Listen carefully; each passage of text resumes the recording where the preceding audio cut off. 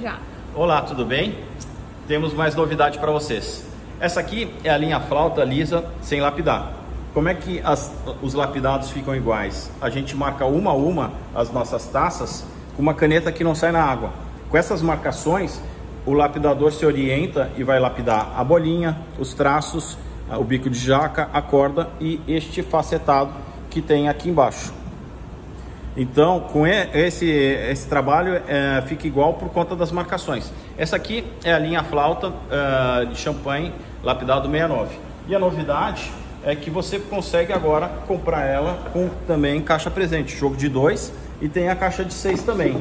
E daí o presenteado ele vai receber essa caixa super segura que tem espuma também aqui na, na, na tampa uh, e ela vai com um laço para preservar ainda mais o laço e, e o, presenteado, a gente coloca um filme ainda uh, nas remessas para isso fique ainda mais seguro.